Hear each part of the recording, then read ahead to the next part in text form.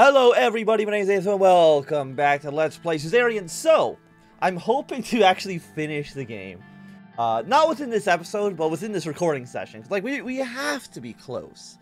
Um, our Secretary of the Interior? Yeah, she's going to primary us for leadership of the party, which is shitty, I would say. It was an unusual day for the resident of Hostlord. Regularly used streets and avenues are blocked off by military personnel, many shops and cafes were closed, and once crowded streets were now empty. Instead, thousands of residents of Hostlord were con concentrated in one street, Victory Avenue. Charging out through the heart of Hostlord, people on both sides of the road were waving their Swordfish flags proudly for the military parade. I was getting prepared to embark on my trip. It was going to be a short drive down to Victory Avenue until we reached the Maroon Palace. Uh, my company for this trip was Joseph and Sergei, as usual, driving the presidential car. Joseph approached me. He was wearing his decorative ceremony outfit. He was carrying a sword with a goat head on the handle and his pistol by his hip. He put on his cap. Mr. President, we are almost ready. We'll depart right after the tank column. Good. Joseph nodded. After hearing the loud thump of a book falling down on the floor, he turned to a couple of privates that were doing the preparations on schedule and started walking in her direction. Private, can't you do your job properly? I watched a young soldier perform a lousy salute to Joseph. What is that salute, soldier? Watch, this is a real salute. He formed an excellent salute after scolding the privates. He walked back.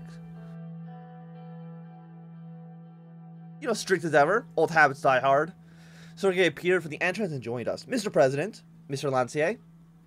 Sergei performed a salute to Joseph, which made Joseph smile under his mustache. At ease, Mr. Wolkner.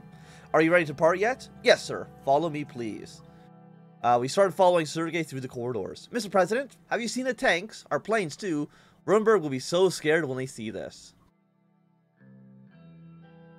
I sure hope so. I am sure, Mr. President. My kids are very excited to wake up today, you know, to see the planes fly.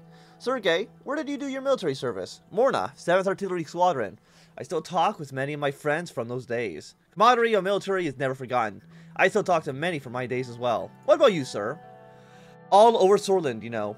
Mr. President was under my command once. Gumrin Outpost. He turned to me. Do you remember those days? Who could forget about Major Lancia? We called him the Relentless. He also let out a long laugh. Good old days. I also remember Mr. President did not like to execute direct orders from his superiors. It's, it's in the past now, true. We are here, sir. We exited the building and walked over to the clearance where the black uh, Kalida, the president of car, was waiting.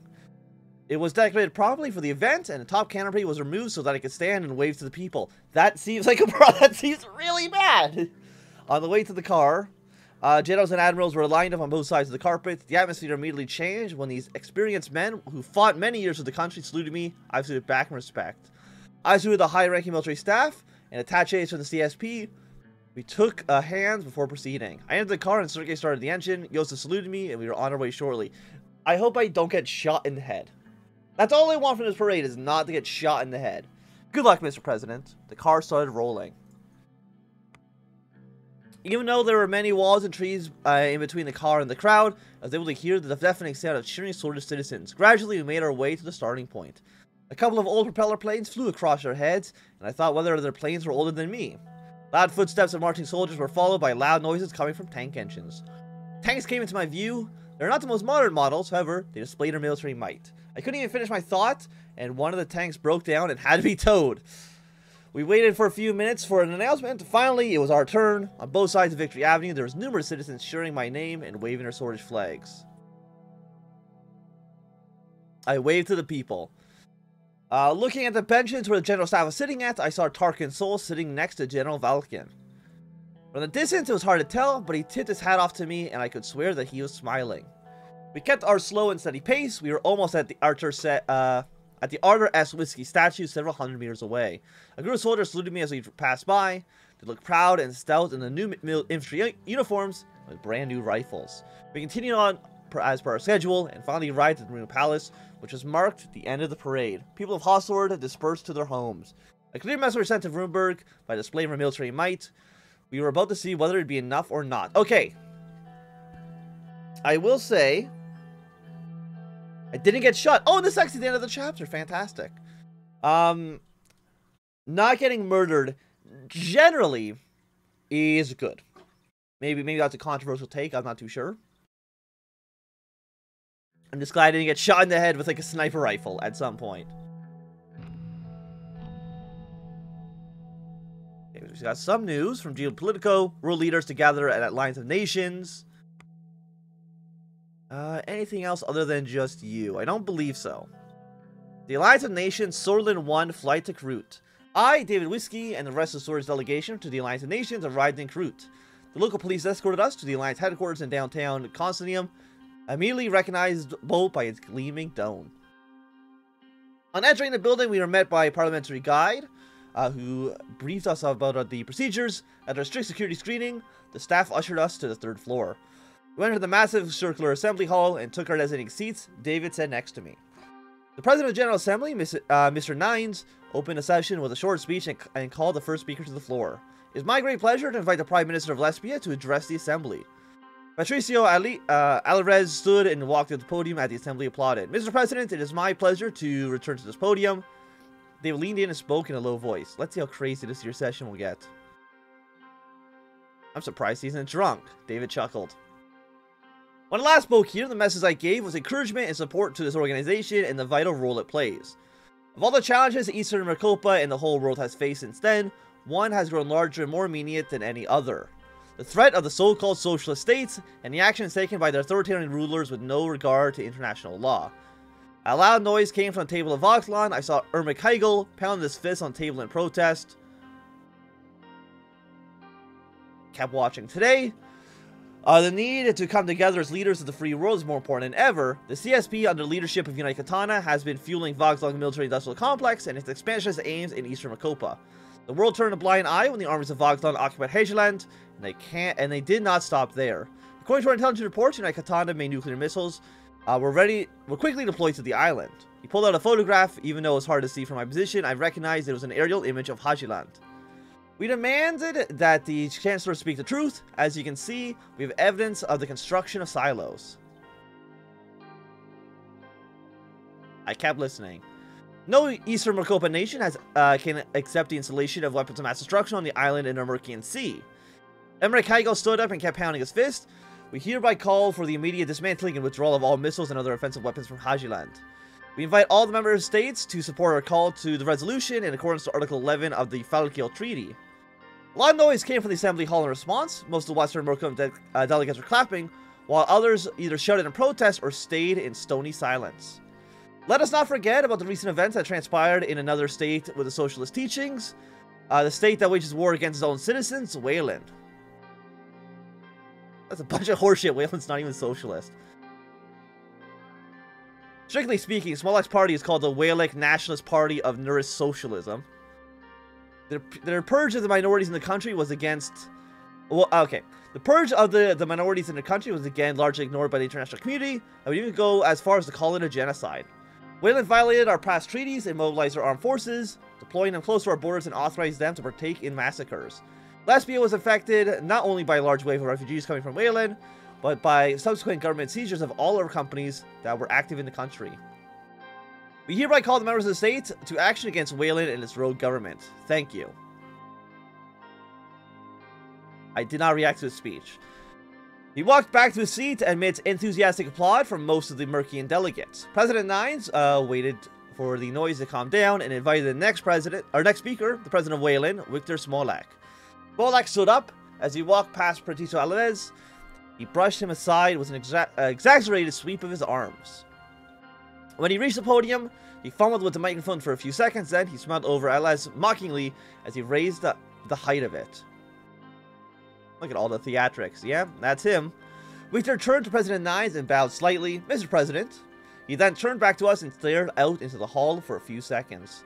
Fellow delegates, it is true that the world today faces a multitude of challenges. In the midst of these challenges, the world's most powerful leaders gather in Kroot.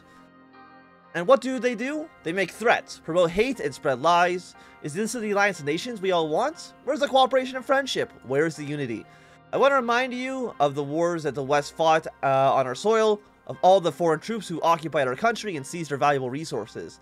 I want to remind you how they stole the oil from our sacred soil, and that they do not know when to stop. The ATO soldiers left, but their uh, interference never ceased. They finance armed rebellion groups whose only purpose is to create terror inside our country. The fellow delegates, don't you dare speak about Wehlen before you acknowledge your own involvement in our civil war, before you acknowledge your own dark past. As it is well known, after the tremendous tragedy of Wehlen Civil War, Arcasia made a deal with United Katana, where they agreed upon the withdrawal of their troops along with the removal of half of our army. And not only did that weaken us, we were left alone facing the genocidal Bluish Freedom Front, which the ATO funds together with Rumburg. Just like the delegate for me, I will show you some of the evidence of foreign interference. He picked a large stack of papers and waved them back and forth. I clear evidence of direct aid from Rumburg to the Bluish Freedom Front, they smuggled in tons of KA-74s into Wehlen. They smuggled in their spies, smuggled in mercenary commanders.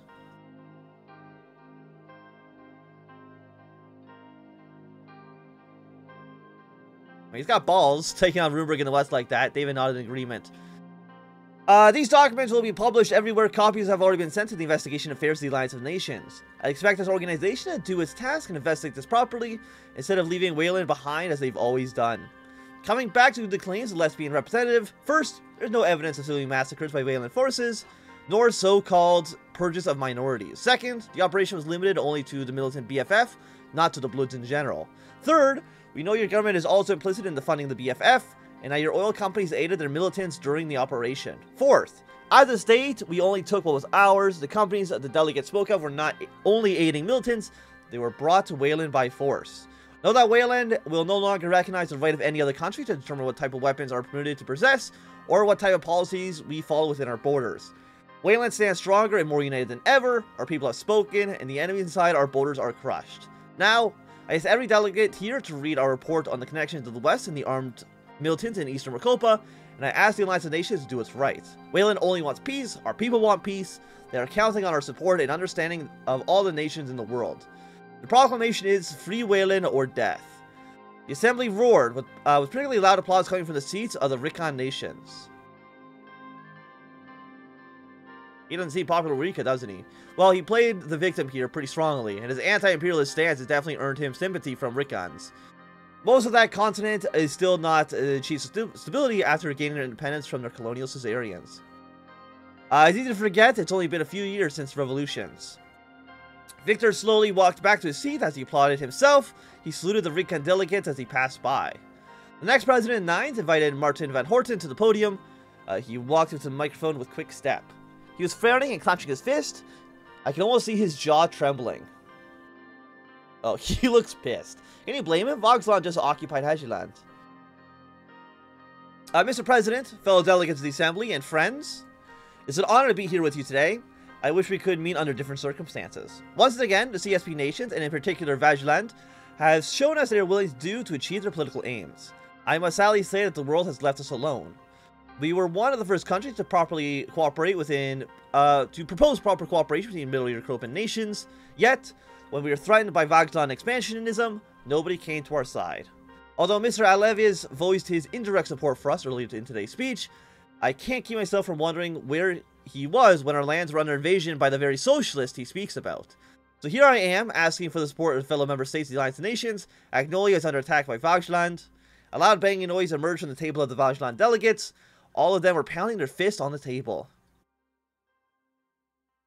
Mr. President, please moderate the assembly. This is more than disrespectful. Ermatego began shouting curses at Nines, repeatedly banged his gavel for order. After a minute of back and forth shouting, uh, the noise settled and Nines allowed Martin to continue. As you all know, Azuland, which had been a territory of Agnolia for more than three decades, was invaded by Vajland in a sudden attack. Not only did they unlawfully occupy our lands, they brought nuclear missiles to the island the moment our forces retreated.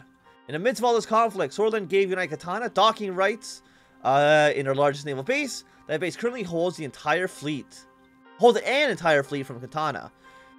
With the access given to them by Sordland, the United Catan Voxland United Force is now roaming the seas. Malleus terror surrounds us on all sides.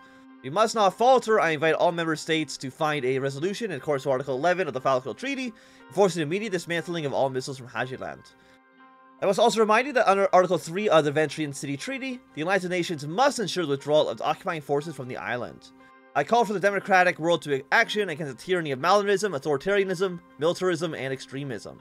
The banging noise started again. Hegel stood up and approached uh, the restaurant. You're a spineless jerk. You lack the Arcesian You lackey of Arcasian imperialism. President Nines called for silence and started hitting the gavel.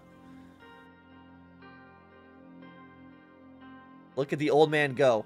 All of your complaints against us are your direct results of your capitalist and neo-colonialist systems. President Nines, please, what is this? President Nines smacked the gavel in a vein as a shouting match broke out in the assembly.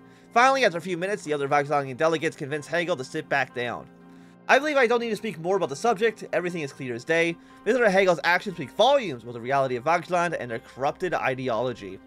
As soon as this conflict resolves with the help of the Alliance of Nations, soon. He quickly left the podium and nodded to the other Agnolian delegates. The two left the assembly hall. President Nines announced the next speaker, Emmerich Hegel. Hegel immediately took his place and spoke in a low, seething tone. Thank you. David, buckle up. It's the Chancellor's turn now. It looks like you're having fun, Mr. President. I mean, a little bit, a little bit, a little bit. First of all, I would like to extend a warm uh, do welcome to the new states from Rika that have joined this organization. After fighting for years against colonialism and imperialism, they have more than earned our membership vote. I am overjoyed to see them finally represented in this assembly. As our numbers grow and more states represented in this stage, we come ever closer to finding resolutions to the conflicts that plague us. For hundreds of years, the dominant economies of Merkopa raised, pillaged, and exploited the continents of Rika and Xena. Sadly, Voxland was also part of this plunder in the years before the revolution, when it, when it still clung to the idea of imperialism. But when our masses found their voice, the old colonial powers and their new financiers turned against them. These powers did whatever they could to hamper our revolutions. They did not want the people to be heard. They are scared of us for showing the possibility of a better path. Of course, they do not want us to succeed. They threaten the productivity that runs in the blood and sweat of their working class. And now they have started labeling us as the aggressors, yet we all know that it was the Arcasians who built up the military bases around Merkopa, and it was the ATO that first formed the fight against Malianism. Hejala was, is, and will be Vaxlanian territory. Our intervention on the island is completely justified. Mr. Delegates brought up the Falakil and Virgin City treaties, however, they are forgetting about the Treaty of Constrium. Vaxlan exercised its right to intervene on behalf of our people who were being oppressed and massacred by the Agnolian government just because they did not recognize an appointed governor. They did not get to elect one. We acted in full accordance to the second article of the treaty, if there is a society to be blamed, it is the state which murders its minorities for, for publicity, showing support for our nation. There are also claims about illegal missiles. No country in the world has the right to determine what type of weapons we import. If there's a conflict the Alliance can resolve, let's hope the Arcasian base... Let's start with the Arcasian base on Falakio Island. Lespia has been housing Arcasian troops and missiles by our border for years, and none of the member states even talked about it. I also want the member states to look into the Arcasian uh, base in Lespia. And if the Alliance of Nations truly claims to have the people's best interest at heart, they cannot stay silent about what the Agnolian government did in Hajiland, how they took away the rights of our people. Perhaps then, there can be a proper dialogue between our nations, and the Alliance of Nations can finally demonstrate that it can serve its intended purposes. But unfortunately, the Alliance of Nations remains all too willing to overlook such human rights violations. However, the Vaxlanian government is ready to is ready, as always, to fight the forces of oppression and colonial servitude on behalf of the free people everywhere.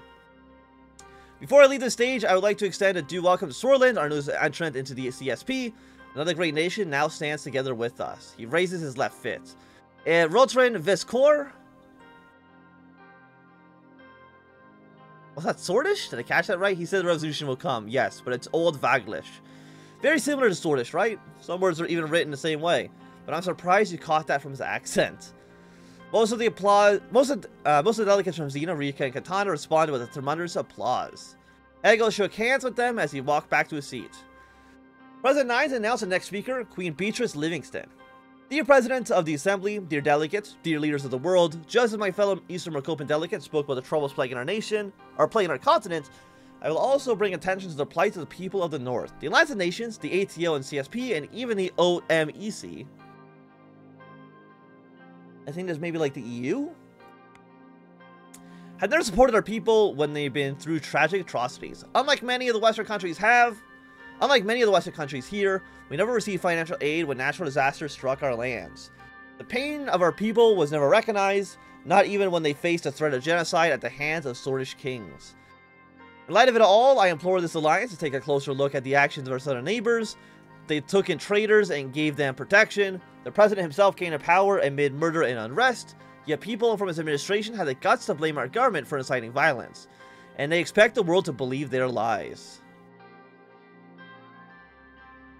You can't let her speak about us like that. Let, let's first hear her out. Sordland even aided the illegal occupation of Hajiland by Vogsland. They are increasing their military presence rapidly to further their dark aims. I hereby invite all of you to determine the initiation of a proper intergovernmental investigation at Sordland. If the Alliance continues to, sh uh, to shirk its given duties, you can trust in Rumburg to take matters into their own hands. It is important to point out that Rumburg will not send idly by if more Katana military is transferred to Eastern Merkopa. I hereby condemn both the CSP and Sordland for allowing United Katana to settle in our region. And before I finish, I just want to say, Mr. Smolak, I am looking forward to reading your report. I wonder what the so-called evidence is all about. Know that your slander does not work on us. Know that we are ready to die for our freedom. Know that our kingdom stands firm and strong. Expect a grand awakening. Thank you. Grand awakening. Yeah, no, that's definitely a threat. There's no doubt about that. She left the restaurant without giving much applause. Without getting much applause. Then President Nye spoke my name. Oh, shit. Mr. Anton Rayne, President Sordland, I invite you to address the assembly. David immediately started applauding. Good luck, Mr. President. I walked into the restroom and took my place at the podium. In front of me were some of the most powerful leaders in the entire world. I looked them in the eye. Uh, it's an honor to be here. Um...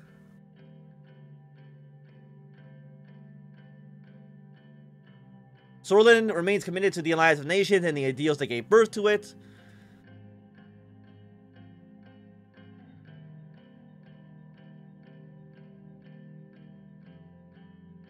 We must remain devout to our dream of a peaceful and free world, a united world.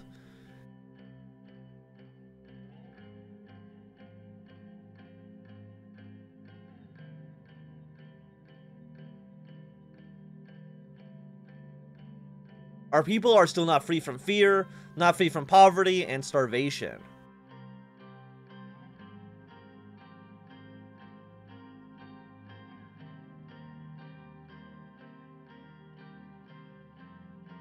Today, we're confronted by a difficult choice. Our great achievements may either be used to the benefit or the detriment of mankind.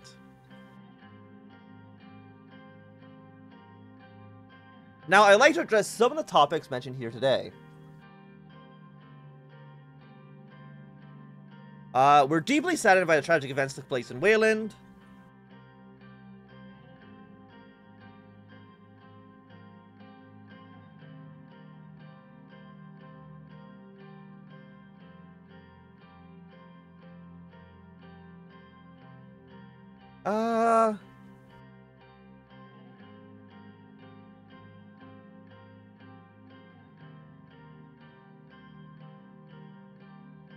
But we'll continue our cooperation with Wehlen. And I would like to address the Queen of Rumburg.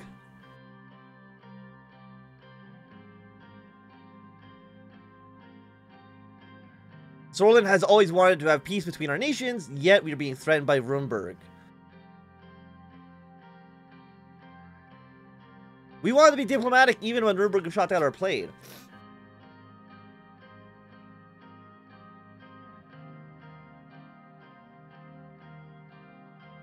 If Rumburg continues the aggression, Sordland will be ready.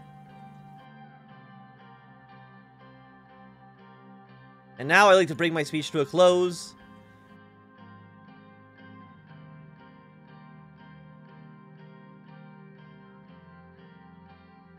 We stand and always will stand for the rights of the people of Sordland and Eastern, Eastern Merkopa, just as those in other continents.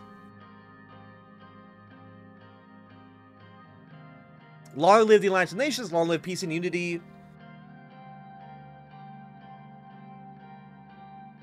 Peace in Merkopa, peace in the world. There was some applause from the assembly. Thank you.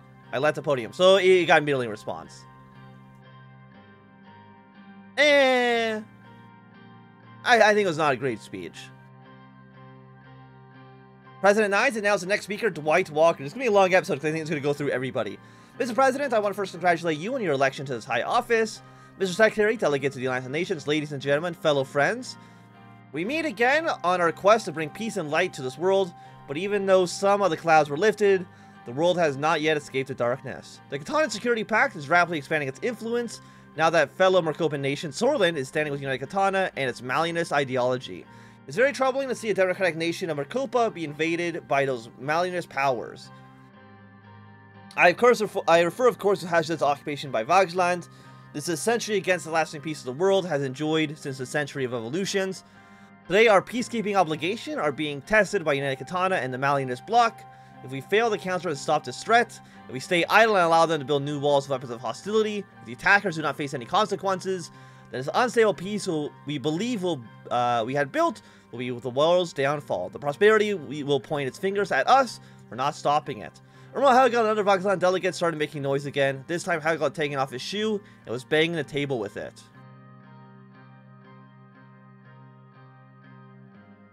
I pound my, start pounding my fist on the table. Despite the noise we all made, President Walker continued his speech without a pause.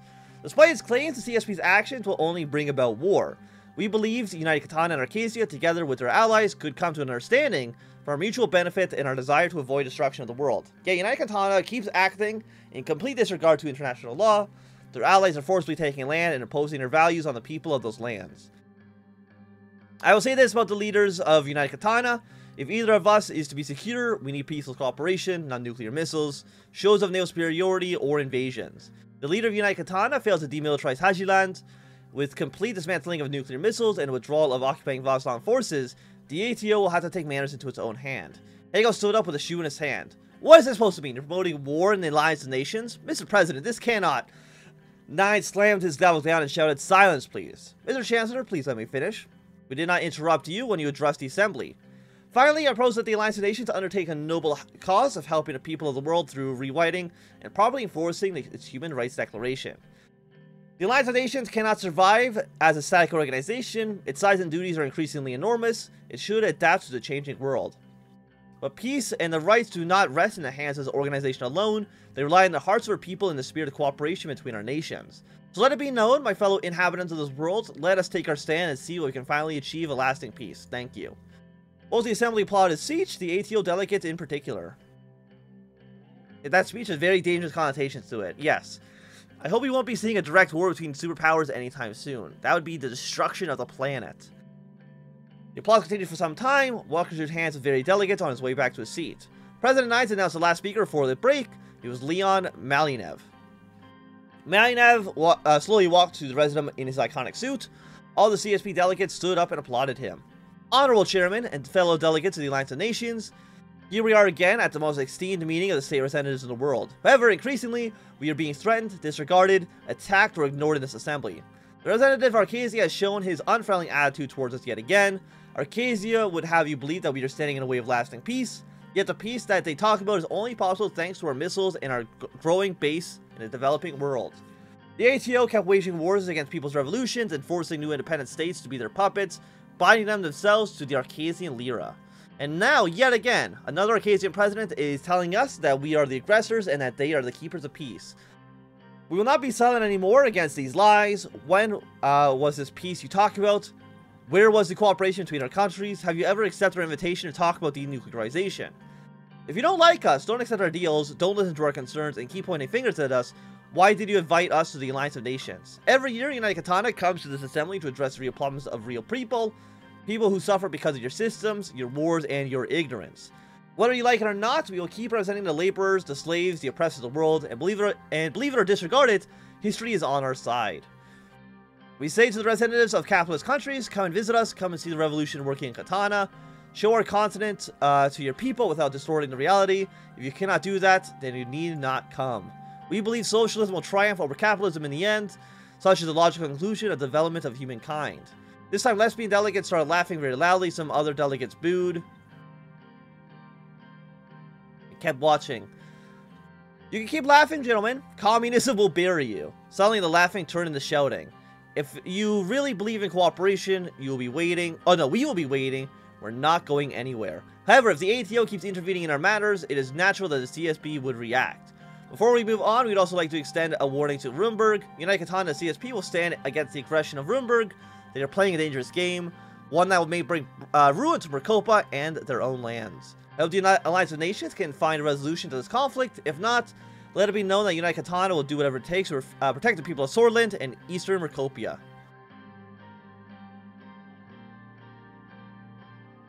You think Ruber can pursue any more aggression after that statement? I doubt that. With her membership in CP, uh, CSP and Katana's clear support, the Queen needs to be would need to be crazy to try anything.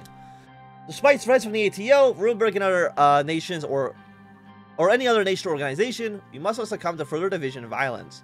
We must ask ourselves, what do the people of our countries expect from us? They surely don't want war or bloodshed.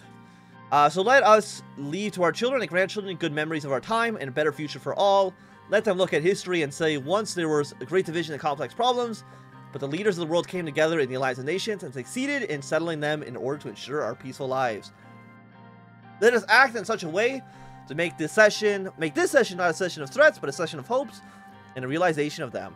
The government of United Katana and the United Peoples of the, and the United Peoples of Katana are ready to serve their duties for world peace. Long live the People's Revolution. I'll applaud his speech. The assembly broke into massive applause.